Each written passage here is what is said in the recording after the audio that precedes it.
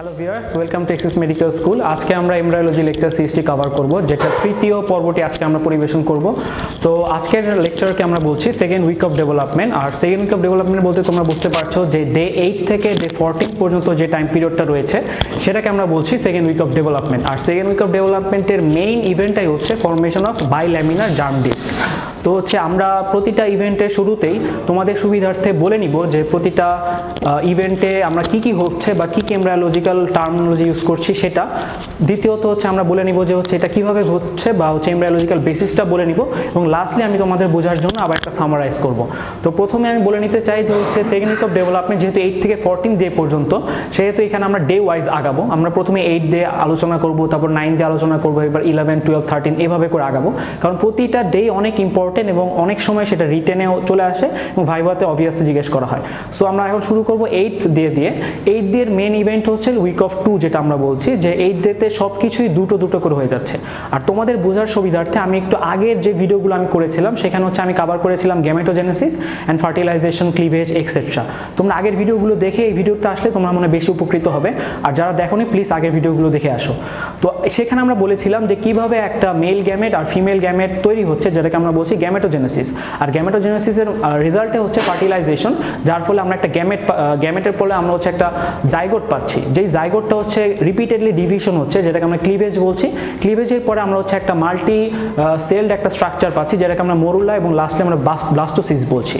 এই ব্লাস্টোসিসটা তোমার হচ্ছে তৈরি হয়ে সেটা ইউটেরাসের যে এন্ডোমেট্রিয়াম যে একবার ইনারমোস্ট যে লেয়ার সেই লেয়ারের ভিতরে চলে যাচ্ছে। এই ব্লাস্টোসিসটাই কিন্তু ফিউচার একটা নতুন বেবি বা ফিটাস হবে। সো এই ব্লাস্টোসিস্টে কী কী চেঞ্জগুলো হচ্ছে সেটা হচ্ছে ধারাবাহিকভাবে আমরা সেকেন্ড উইকে আলোচনা করব। তো আমরা শুরু করি second week of development eight যে ডে ছিল এইট ডে দিয়ে এইট ডেতে কী হচ্ছে? এইট ডেতে আমরা দেখতে পাচ্ছি যে আমার যে এই যে আমি বর্ডারটা এঁকেছি, এই বর্ডারটা হচ্ছে তোমার এন্ডোমেট্রিয়াম লেয়ার এই লেয়ার দেখে আমরা বুঝতে পারছি যে যেই আমাদের ব্লাস্টোসিস্টটা ছিল, এটা হচ্ছে ব্লাস্টোসিস্ট এই ব্লাস্টোসিস্টটা এন্ডোমেট্রিয়ামে ফুললি এখনও ঢুকতে পারেনি। সে হাফলি অর পার্শিয়ালি এমবেডেড হয়েছে এবং কিছুটা পার্ট বাইরে চলে আসছে। এবং এই অবস্থা থেকে কিন্তু তার মধ্যে কিছু চেঞ্জ শুরু হয়ে যায়। অলরেডি তার মধ্যে কিছু কিছু চেঞ্জ চলে আসতে থাকে।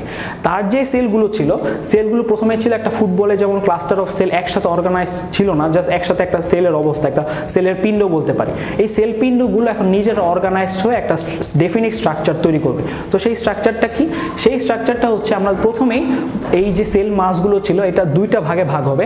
একটা হচ্ছে আউটার সেল মাস যেটা আমি কালো এই দিয়ে এঁকেছি এই পাশে ডান পাশের এরিয়াটা, এটা হচ্ছে আউটার সেল মাস আর ভিতরে যে নীল দিয়ে এঁকেছি সেটা হচ্ছে ইনার সেল মাস এখানে আউটার সেল মাসকে আমরা বলছি ট্রফোব্লাস্ট আর ইনার সেল মাস যেটা, সেটাকে আমরা বলছি এমব্রায়োব্লাস্ট তো এই দুটো নামকরণ এভাবে আলাদা করার কারণটা কি? তোমাদের মনে প্রশ্ন আসতে পারে। তো তোমাদের জন্য বলছি যে ট্রোফোব্লাস্ট যে পোর্শনটা মানে বাইরের যে সেলগুলো ছিল, এই ইনক্লুডিং এই কালো ইরেগুলার পোর্শনটার ভিতরে যে কালো সেলগুলো এই পুরোটুকু আমরা বলছি ট্রোফোব্লাস্ট এই ট্রোফোব্লাস্টটাই হচ্ছে তোমার ফিটাসের বাইরে যে প্লাসেন্টা পরবর্তীতে তৈরি হবে, এই প্লাসেন্টাটা আসবে তোমার ট্রোফোব্লাস্ট থেকে।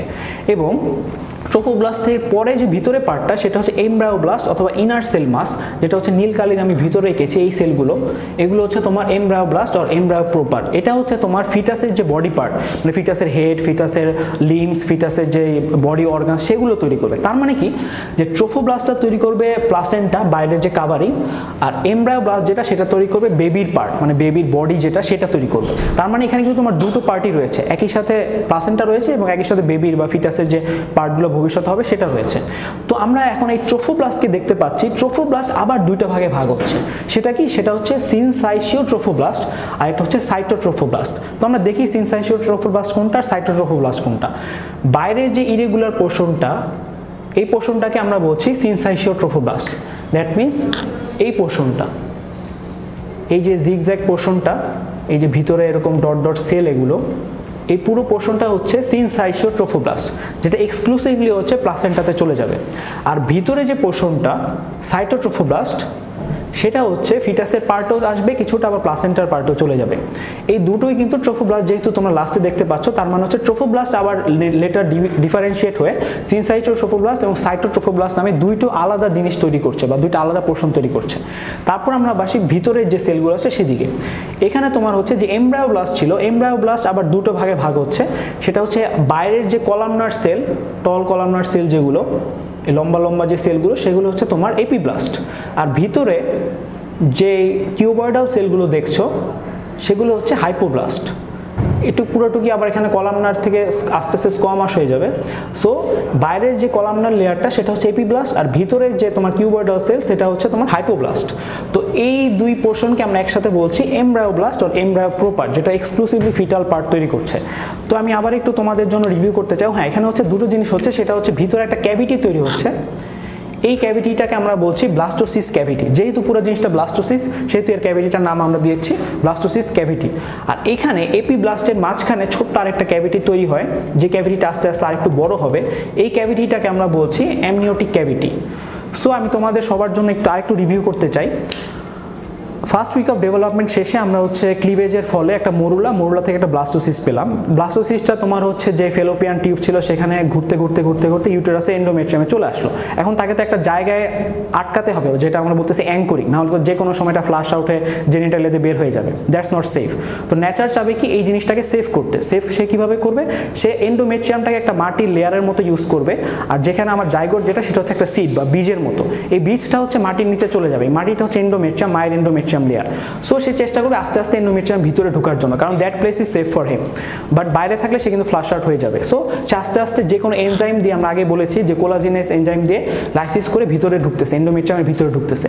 ঢুকতে ঢুকতে ব্লাস্টোসিসে কিছু চেঞ্জ হচ্ছে এইট উইকে সবগুলোতেই হচ্ছে দুইটা দুইটা করে পোর্শন পাচ্ছি আমরা। যেমন, আমরা হচ্ছে দুইটা সেল মাস পেলাম outer cell mass and inner cell mass outer cell mass বা ট্রোফোব্লাস্ট দুইটা ভাগে ভাগ হলো সিনসাইশিও ট্রোফোব্লাস্ট অ্যান্ড সাইটোট্রোফোব্লাস্ট এমব্রায়োব্লাস্ট আমরা পেলাম, যেটা হচ্ছে দুটো ভাগে ভাগ হচ্ছে এপি ব্লাস্ট অ্যান্ড হাইপোব্লাস্ট তারপর আমরা দুটো ক্যাভিটি পেলাম, যেটার নাম হচ্ছে ব্লাস্টোসিস ক্যাভিটি এটা বড় ক্যাভিটিটা আর সাইটোরোফোব্লাস্টের ভিতরে যে ক্যাভিটিটা ছিল, সেটাকে আমরা বলছি অ্যামনিওটিক ক্যাভিটি তো এখানে আমাদের আরেকটা কোয়েশ্চেন ইনভেরিয়েবলি করা হয়, যে why second week of development is call week of two তো তোমরা এখানে স্পষ্ট দেখতে পাচ্ছ কি যেন উইক অফ টু বলি, কারণ আমরা এখানে কিন্তু সব জায়গা থেকে দুইটা দুইটা করে ভাগ পাচ্ছি।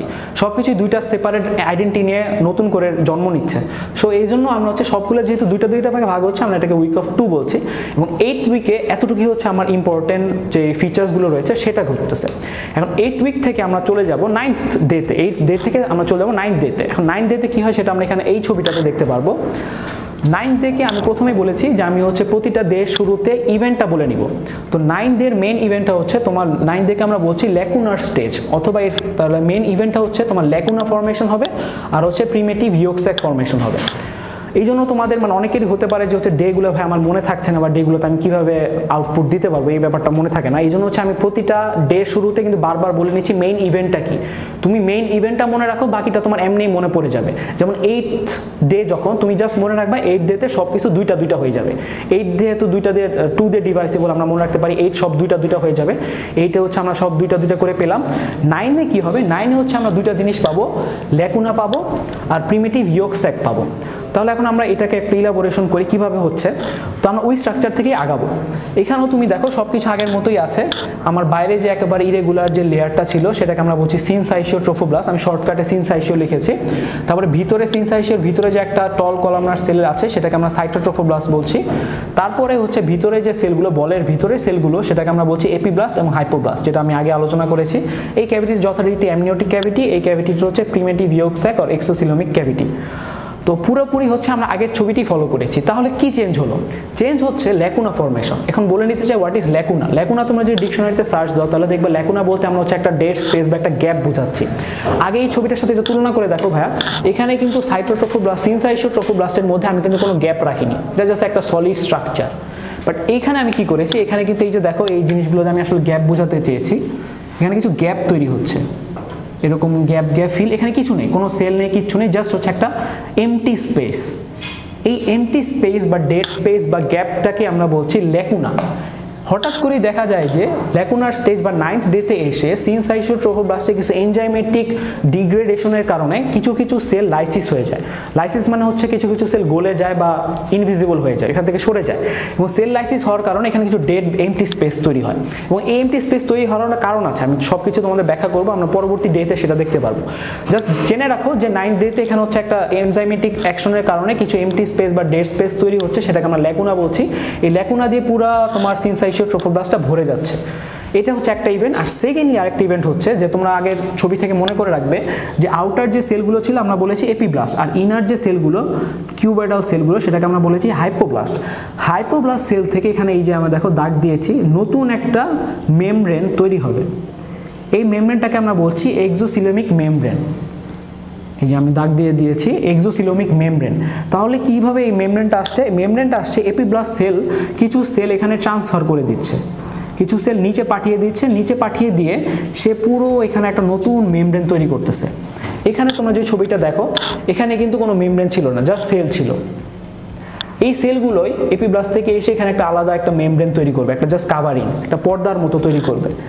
এই মেমব্রেনটাকে আমরা বলছি এক্সোসিলোমিক মেমব্রেন আর এক্সোসিলোমিক মেমব্রেন তৈরি হওয়ার কারণে ভিতরে যে ব্লাস্টোসিস ক্যাভিটি ছিল, এটার নামও চেঞ্জ হয়ে যাবে। কারণ সে তো এখন আগের মতো নেই। সে কিছুটা সাইজে ছোট হয়ে গেছে বা তার মধ্যে কিছু স্ট্রাকচার চেঞ্জ হয়েছে। এই ক্যাভিটিটাকে তখন আমরা বলতেছি প্রিমেটিভ ইয়োক স্যাক অথবা exocoelomic cavity primitive yolk sac শুনে তোমরা বুঝতে পারতেছো, এরপরে নতুন করে একটা স্যাক তৈরি হবে। তার মানে হচ্ছে প্রিমিটিভ জাস্ট এটা তৈরি হয়েছে বাট এটার মধ্যে আরও মডিফিকেশন হবে আরও কিছু নতুন সেল আসবে আরও চেঞ্জ হবে। এর ফলে হচ্ছে আমরা একটা আলটিমেটলি রেজাল্ট পাবো। বাট ইনিশিয়ালি আমরা একটা নতুন মেমব্রেন পেলাম এক্সোসিলোমিক মেমব্রেন এটার অরিজিনটা কি? অরিজিন হচ্ছে হাইপোব্লাস্টের সেল থেকে নতুন মেমব্রেন তৈরি হলো। আর মেমব্রেনের ফলে আমরা কি পাচ্ছি? নতুন একটা ক্যাভিটি পাচ্ছি, যার নাম হচ্ছে প্রিমিটিভ ইয়োক স্যাক বা এক্সোসিলোমিক ক্যাভিটি তো তোমাদের সুবিধার্থে আমি হচ্ছে আবার একটু রিভিউ করি নাইন ডেটাতে নাইন ডেটা প্রথমে মনে রাখবা দুইটা জিনিস পাবো, একটা হচ্ছে ল্যাকুনা পাবো আর সেকেন্ডলি হচ্ছে প্রিমিটিভ ইয়োক স্যাক পাবো। ল্যাকুনাটা কি? ল্যাকুনাটা হচ্ছে the dead or empty space which is produce in the syncytiotrophoblast due to enzymatic degradation secondly হচ্ছে প্রিমিটিভ ইয়োক কীভাবে তৈরি হবে? এপিব্লাস্ট থেকে কিছু সেল ট্রান্সফার করে নিচে চলে আসবে। নতুন একটা মেমব্রেন তৈরি করবে যার নাম হচ্ছে এক্সোসিলোমিক মেমব্রেন আর এক্সোসিলোমিক মেমব্রেন তৈরি হওয়ার কারণে এই ক্যাভিটিটার নাম চেঞ্জ হয়ে নতুন একটা ক্যাভিটি তৈরি হবে, যেটাকে আমরা বলছি প্রিমেটিক ডিওক্সাইড আর এক্সোসিলোমিক ক্যাভিটি তো এই ছিল nine day R eight day second week of development পর্যন্ত। আর এরপর আমরা আলোচনা করব eleven twelve and lastly fourteen day এটা দেখার জন্য তোমাদের পরবর্তী ভিডিওতে চোখ রাখতে হবে। আজ এই পর্যন্তই, ধন্যবাদ।